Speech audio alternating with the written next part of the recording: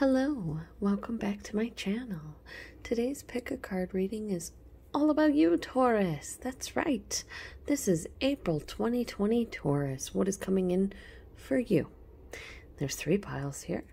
Pile number one is represented by a piece of jade, green jade. Pile number two is represented by a piece of pyrite. And pile number three is represented by a tiger's eye. So go ahead and choose the pile that resonates with you, my lovely Taureans. And while you're doing that, I'm going to take a moment to do the whole like, comment, subscribe, bell icon thing. Um, yeah, I want to thank you guys for watching my videos and taking time out of your day to spend it with me. Let's go ahead and get started. If you need a little bit more time, go ahead and pause that video. Again, pile number one, two, and three. And we're starting with you, pile number one. You chose the jade, green jade, and we have two sets here. We have love and relationships and career and finance. And I'm going to start with career and finance.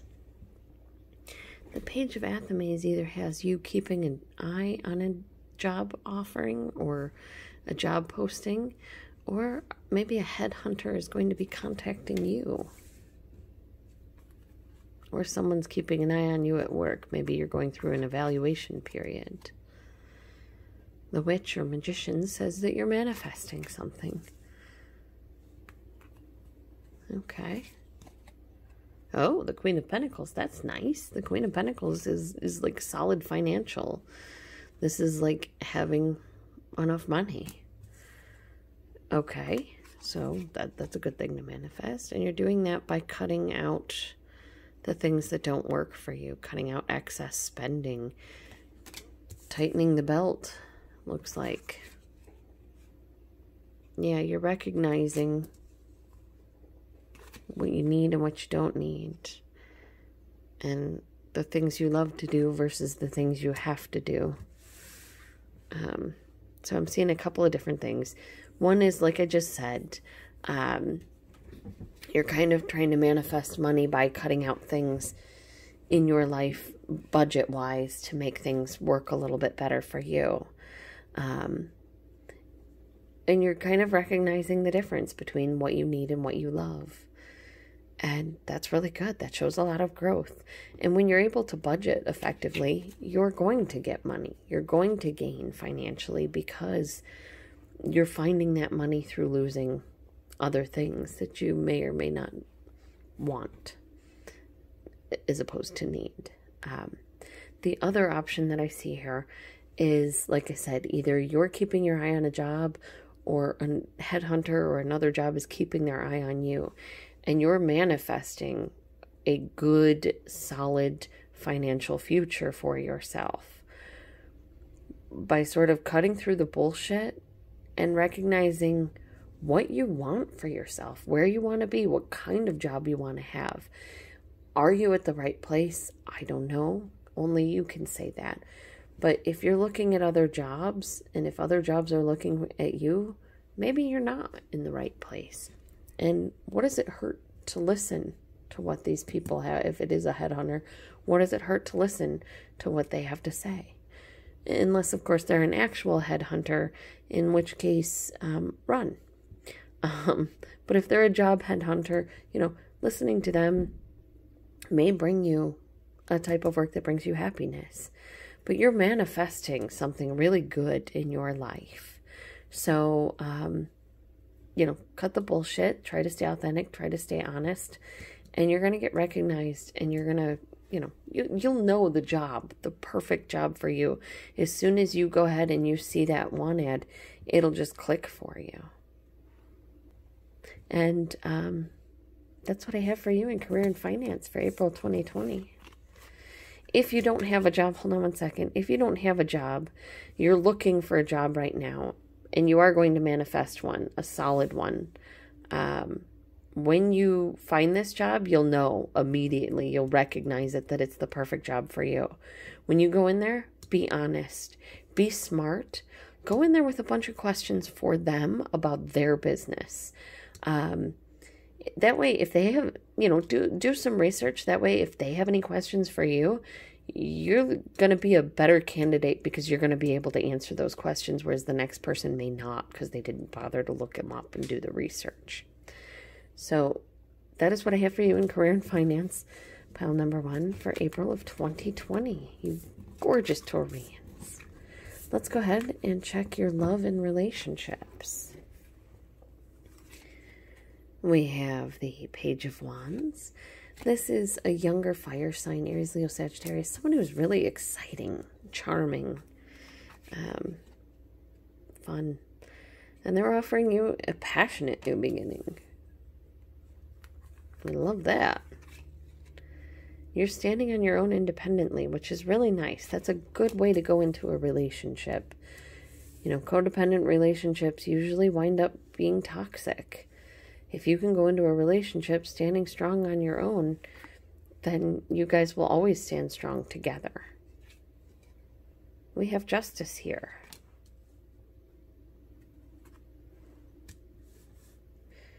Justice is uh, the card of Libra. Your ships are coming in because you put the work in. All right. Um, so, what I have here for love and relationships for April of 2020 is that there is someone that is kind of exciting to you, someone that you kind of want a new passionate start with. You guys are both a little bit independent, which is really good. This is a good, balanced relationship. The cards are saying your ships are coming in, and it's safe to put the work in because they feel the same about you. This is balanced. Is it your soulmate? I don't see anything here saying it's really your soulmate, but what I do see is that it is a fair and balanced relationship where you both can stand on your own independently and you both have a lot of fun together. So, the other possibility here is that you may be dating someone that doesn't live in the same country you do, or in the same state you do, or in the same city you do. And like the internet is your primary um, source of, of connection. Um, they're really exciting. You want a new beginning with them, but you're both independent for a reason. This relationship is really good. It is really fair. It is really balanced. And you guys will get to be together in person one day. And so you're just kind of waiting for that to happen right now.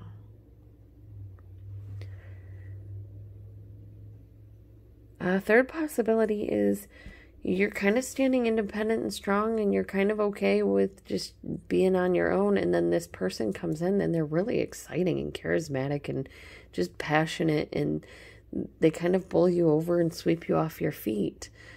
But you know they're also very fair and balanced within the relationship. And this is something that you deserve because you have you do put work into your relationships. And um, this one is, is going to pay off for you and uh, that's what I have for you for pile number one, my beautiful Taureans for April of 2020. I hope that April treats you as well as you treat everybody around you, Taurus. Um, you guys are the hardest working of the zodiac signs. And um, yeah, you, you deserve a lot of love for yourselves as well. And um, I hope April 2020 brings that for you. Bye. All right. Taurean pile number two. You beautiful pyrite people. We have two sets of cards here. We have love and relationships and career and finances. We're going to go ahead and get started with career and finances. We have you setting a burden down with the Ten of Wands, putting an end to something the Two of Swords says you're making a decision about something that you've been kind of putting off. That's this burden that you're putting down. You're finally making a choice. And we have victory. Five of Athames telling you, Five of Swords telling you you're making the right choice. We have justice coming in to say that this is indeed the right choice. This is where you're supposed to be. We have a new offer coming in, one that you're going to love and be happy about.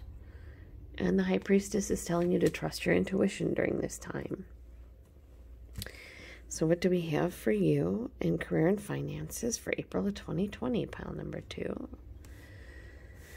Um, we have you putting down a burden. Some you've been having to make a choice about something and it's stressing you out. It could be something as simple as um, what kind of reverse osmosis system you're putting in your house, or um, what kind of car you're going to get, what kind of computer you're going to get whatever this is, you're going to make this choice. And this choice that you make is victorious. We have justice here saying it's going to be good. Everything's going to be fine. And then you have a new offer coming in, um, one that you're going to love. So trust your intuition. Victory is assured. Justice is yours. You're putting down this burden and you're making this choice. And this is beautiful. Pile number two. Um, yeah, it's like once you make this choice, this burden is relieved, you're kind of victorious, and this new offer is able to come in for you. Now, this could be a new job offer, this could be money coming in your way. I don't see it as money though, because this is a career and finance reading. If it was the Ace of Pentacles, I would see it as money coming in your way. But being the Ace of Cups, I see this as a job or a project that you are just absolutely going to love. And it's fair because you deserve it, because you've been through it. You've, you know, you put the work in, you've carried the burden, and um, you've made the choice to be victorious, and you will be. And that is what I have for you in career and finances, April. Oh, wait, no, sorry. Um, if you're looking for a job, you're trying to make a decision about where to go and what to do. And um, in April, you kind of put this burden down by making that choice and just jumping into it. Um, maybe this is a, a job you didn't think or other people around you don't think that you'd be able to get, but like you're perfect for it. And they see that you're perfect for it. And it surprises you, but you're happy. So trust your intuition and listen to what your gut has to tell you. Don't follow the little, you know, naysayer in the back of your mind going, oh, I don't think you could ever do that. Listen to your gut that says, ooh, I like that job. That sounds perfect for me. Because you're going to get it. You're going to show them something different from what they're used to. And you're going to wind up getting it. So that is what I have for you in career and finances, pile number one let's take a look, or pile number two, let's take a look at love and relationships. We have the Eight of Pentacles showing you putting work into this relationship that you're in. We have the Emperor telling you that you're taking control of the situation. The Two of Pentacles saying that you're balancing things in your life or working to balance things in your life. The Queen of Cups saying you've got a loving relationship the Lover's card saying this may be your twin flame or soulmate. We've got the Lemniscate here. The Queen of Cups, the Lover's card, and the Six of Wands. Okay. So here are the possibilities that I see in your love and relationships. Pile number two, my lovely Taureans. You, those of you who are in a relationship already, you've been putting a lot of work in and you've sort of taken control of this relationship, or at least your part in it, to make sure that it is fair and balanced, that it is a loving relationship that nurtures each other and is like beautiful. And you recognize it, and they recognize it, and they also put the work in and take control to keep it balanced and beautiful. Um, for those of you not in a relationship, you've been going out on a lot of dates so that's you putting the work in. And you finally meet somebody that kind of captures your interest. And you're sort of not sure about them, but you go on this date anyway and you just have a great time. It's a lot of fun, and you recognize that there's someone you can really connect with. The other possibility here is there is someone from work that you're considering dating. It could be your boss. Don't do that. dating the boss is usually always a bad idea. Um, Sure, there's that 0.0001% where it works out fairy tale wise. But for the most part, when you date your boss, a lot of things that happen wind up being like you get fired. Um, but I'm not seeing that for everybody. Uh, some of you are you want to date your boss. You've got work here. You've got the the emperor. You're attracted to your boss. You see them as an equal. They see you as an equal. It's a loving relationship, and you kind of recognize each other. But um, you know, even though the cards don't say it, just be careful. Dating your boss is a very, very bad idea. Uh, for others, this could be someone just that you work with, and you're just taking control of the situation and asking them out on a date, trying to keep things balanced in a loving way, and it just goes really, really well. Um, for those unattached and not looking, your work is your love and you've kind of taken control of your life to keep it nice and balanced. You're happy with who you are and where you are, and life is good for you, and you recognize that. And that is what I have for you for April of 2020, my beautiful Taureans. I hope that April brings you everything you deserve. Um, I hope you get the recognition and acknowledgement and love and everything that you deserve because you guys are amazing. You work so hard and um, you're so insightful. You're very good at rooting out the truth of the matter. And I really appreciate you guys. So thank you very much for spending time with me, Taurus. Bye. Pile number three. My beautiful tiger eye, Taureans. Let's go ahead and get started.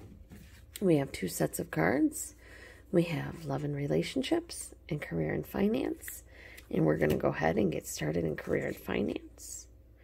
Well, you're starting out with the Ten of Pentacles, which is like financial success, uh, the Happy Family card. So you're starting out really good here um, in April of uh, 2020. Taurus pile number three. You're solid, dependable. You got a good job or the prospect of a good job. You can see we got the hawk there, so it could be you're, you're seeing a good job coming in. And then we've got the Wild Hunt, which is the Tower card, bringing in some massive change. We have the Five of Chalices, which shows you really, really sad, mourning, a loss. The Wheel of Fortune chain is start saying things are changing in your favor. Have faith. Okay. So, okay, what I'm seeing for you, pile number two, is you already have a job. And it's you had a job and it was solid and it was dependable and it paid the bills. But it ended. And you're kind of sad right now and not sure where to go and what to do. And the cards are telling you to have faith. Things are going to start moving in your favor again. The Wheel of Fortune is going to turn in your favor because you are someone who is solid and dependable. So you will find the perfect job with just a little bit of work. Um, so this thing that happened, um, I'm not sure why it happened to you, but it's not going to be like this forever. You things start changing in your favor. So ha have a little bit of faith. Don't get so stuck in the sad part of it all. Um, I know how difficult it can be to lose a job, especially if it's something that you absolutely love and adore. Um, it could totally shatter you. The cards are telling you don't let it shatter you. Things are going to turn in your favor. Have faith. Um, for, you know, I'm going to tell you a a, true a, a story of mine when we say have faith that things are turning in your favor and you've got something that's really bad that's happened in your life, sometimes it's hard to see where the good can happen. Um, and this is a story I've told before on this channel. I, in, in 2014, I was attacked by a St. Bernard that we had adopted. He was an older dog and um, he had PTSD, but they never told us that and I triggered him and he tried to kill me. And um, when I had to go to the doctor to have them look at the wounds, there was quite a lot. They, um, my doctor wasn't in town. And I had a, an illness that went undiagnosed that they thought was fibromyalgia at first, and then nobody was sure what it was. And I was just getting sicker and sicker. And because my doctor was not in town when I was attacked by this dog, I had to go to another doctor. So I found a doctor closer to my house that wound up solving my mystery illness. So the bad thing that happened was I was attacked by my dog that I loved and cared for. But the good thing that came out of it was I got a diagnosis for my illness and I got put on medication that really, like, literally saved my life and turned it completely around. So sometimes bad things happen and it's hard to see the good, but there can be good to be found in those bad things. A lot of times you just won't see it until later on down the road. Um, so that's my own personal experience. Mileage may vary. Um, that's your um, career and finance reading, pile number three. Let's go ahead and look at love and relationships.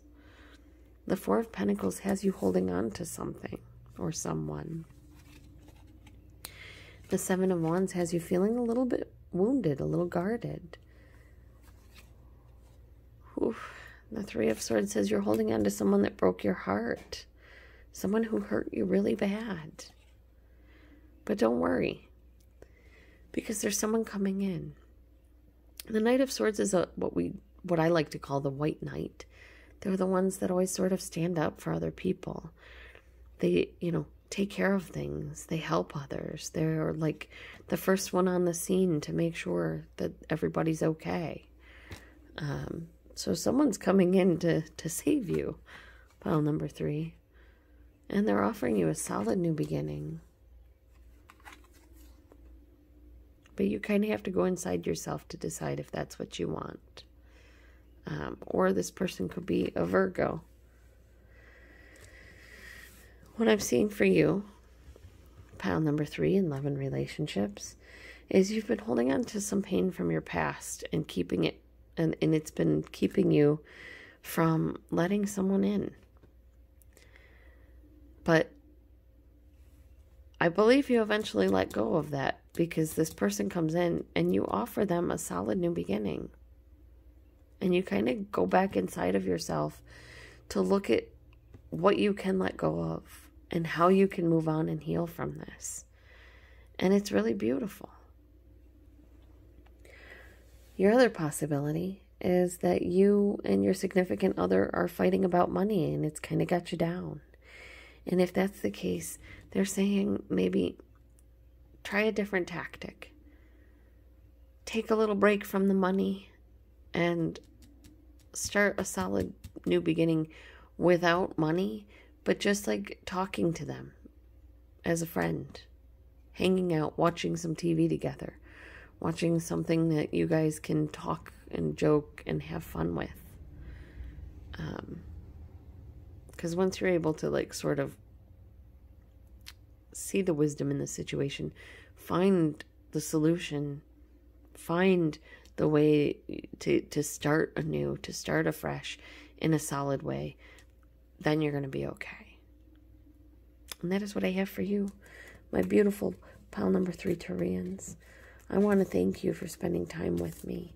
And I'm so sorry that someone hurt you like that. I hope that your next romance brings you nothing but beauty and joy and hope and love. And I want to thank you for spending time out of your day with me. And I want to thank you for making the world a better place because Taureans tend to be the ones that are the helpers that are out there, you know, doing the hard work so that the other signs can live a little bit happier. So thank you for all you do, Taurus. Um, bye. For those of you sticking around wondering about the cards, the cards I used for the love and relationship readings are the Steampunk Tarot by Barbara Moore and Aly Fell, And the cards that I use for the career and finance readings are the Green Witch Tarot by Ann Moura and Kiri Østergaard Leonard. Thank you very much again for spending time with me, and I hope you guys have a lovely day. Bye.